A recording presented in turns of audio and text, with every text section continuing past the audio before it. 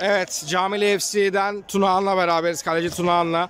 Evet Tuna sizin için rahat bir akşam oldu. Evet. 3 puan aldınız. e, 8-1. Çok net bir skor. Sen de sakatlıktan döndün. Aynen Takımını e, bu maçta yalnız bırakmadın.